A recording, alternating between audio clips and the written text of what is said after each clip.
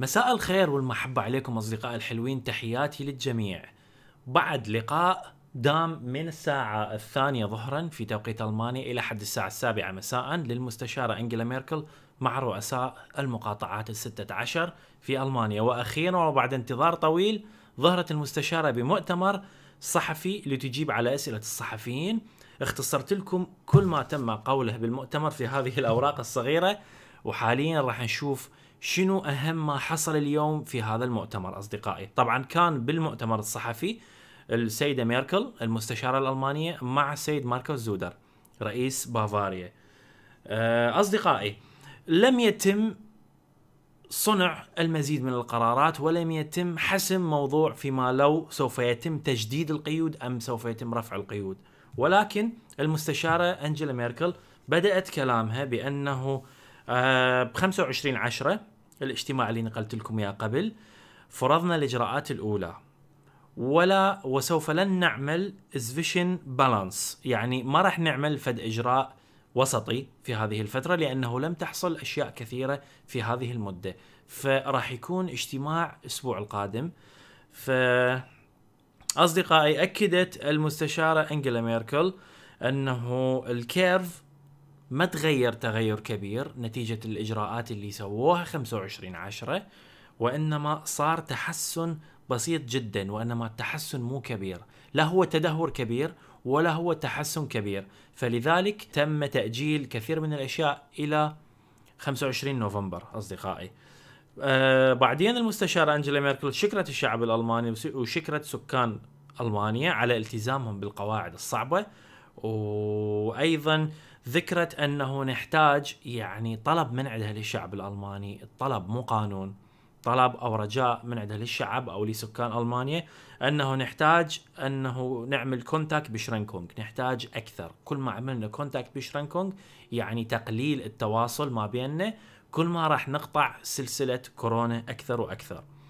وبعدين ذكرت أنه ب 25 نوفمبر راح نبحث بأمور عديدة بالمستقبل. راح نشوف هل راح يستمر التحسن البسيط أو السيطرة البسيطة راح تستمر وتنخفض الإصابات أكثر.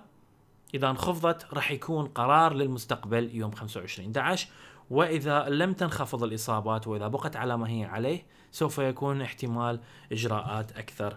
يا أصدقائي وبعدين ذكرت أنه لازم نتخذ إجراءات من أجل الحفاظ على عدد ال Intensivbetten بالمستشفيات لأنه تعرفون المريض بكورونا وحالته سيء يحتاج ال Intensivbett.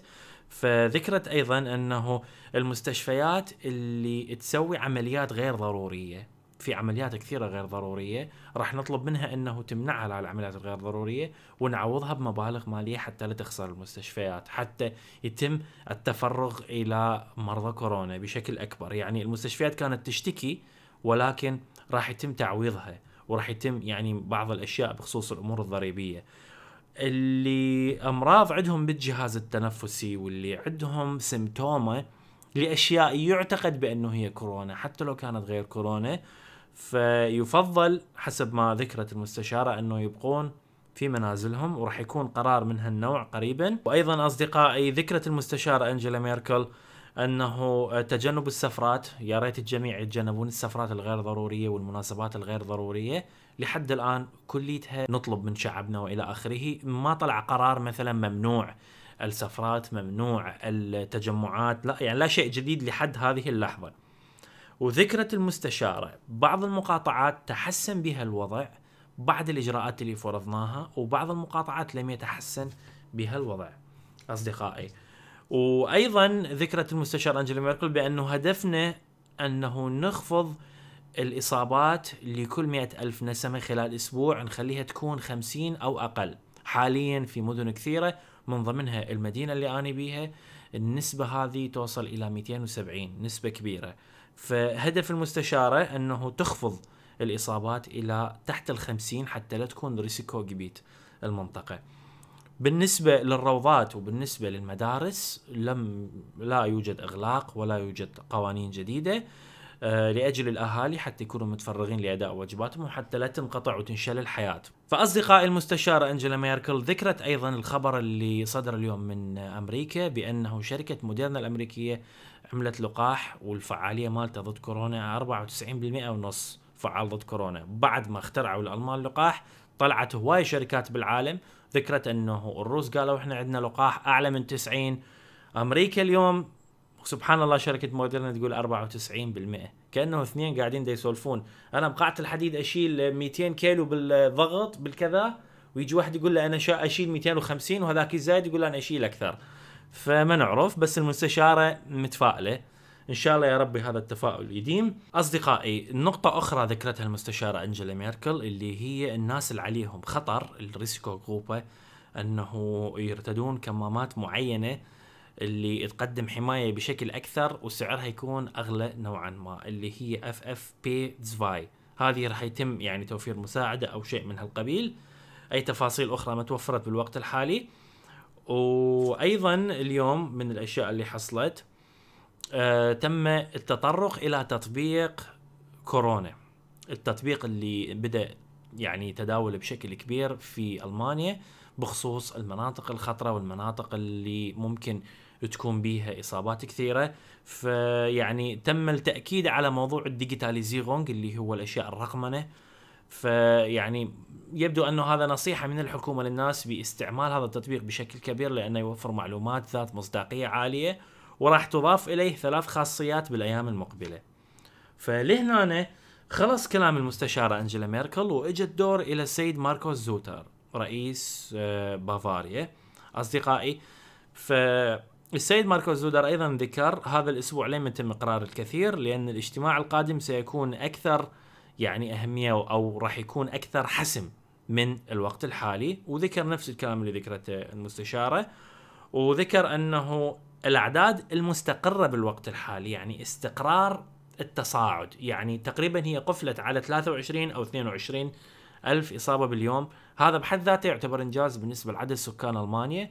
مقارنة بدول أخرى ما قدرت تسيطر على الكيرف ولكن تمت السيطرة في ألمانيا. فلذلك الأسبوع القادم راح يكون الموضوع حاسم أكثر لأنه هذا الأسبوع اللي راح يحصل به راح يأثر على ما سوف يتم إقراره في الأسبوع القادم. أصدقائي بعدين ذكر السيد زودر بأنه الأرقام هي أهم شيء. ويجب السيطرة عليها من أجل تحجيم الوباء. وذكر السيد زودا بأنه عنده أمل نوعا ما بأنه بنهاية نوفمبر راح يكون هنالك تحسن ملحوظ. أسوأ سيناريو ذكر السيد زودر أنه يكون عندنا إغلاق أسبوعين أو إغلاق شهر ووراها يعني يرجع الفتح. وبعدين يصير أيضا إغلاق لمدة أسبوعين أو شهر وبعدين فتح فهو ذكر أنه هو يؤمن بإغلاق واحد وحاسم وقوي وإجراءات واحدة حتى لو كانت طويلة وبعدها يتم الفتح. وأيضا كرر نفس الكلام بخصوص المدارس وذكر أنه كورونا أذت الكثير علينا جميعنا أن نتحمل هذه الأذية خصوصا وأن اللقاح يعني صار شيء قريب فيبدو أنه هي حملة لأجل تشجيع الناس على الصبر والتحلي بالصبر في هذه الأيام الصعبة لأنه لم يبقى شيء. اللقاح قادم جدا.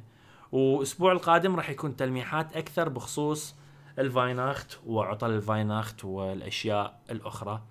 سوف يتم مناقشتها بالأسبوع القادم. اذا اليوم لم يتم إقرار الكثير ولم يتم إنجاز الكثير. مجرد مراجعة أو دراسة الموقف اللي وصلت له المانيا بعد الإغلاق اللي قرروه باجتماع 25 نوفمبر أصدقائي. 25 أكتوبر عفوا. لهنا أصدقائي وصلنا إلى نهاية المؤتمر اللي سوته المستشارة انجela ميركل مع آه، رؤساء المقاطعات الستة عشر. وبعد سويت مؤتمر صحفي لخصت لكم كل ما جاء من هذا المؤتمر. إن شاء الله يا رب تكونوا استفاديتوا. ربي يحفظكم وتصبحون على ألف خير. تحياتي لكم مع السلامة.